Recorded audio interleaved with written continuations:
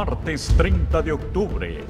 En la reunión de los 70, lávese con el agua bendita del estanque de los milagros. Cuatro años de padecer de una enfermedad que se llama pénfigo.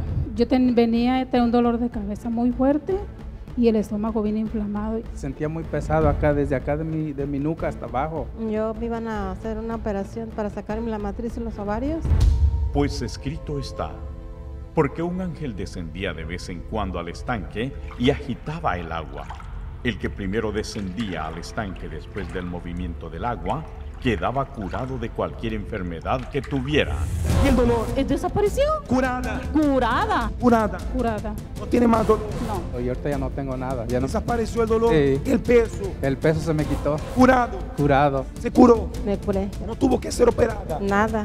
Sanada. Sanada de todo. Para usted que ha sido desahuciado, sufre con diabetes, dolores o cualquier tipo de enfermedad, participe y lávese con el agua bendita del estanque de los milagros y por la fe sea curado de todos sus males.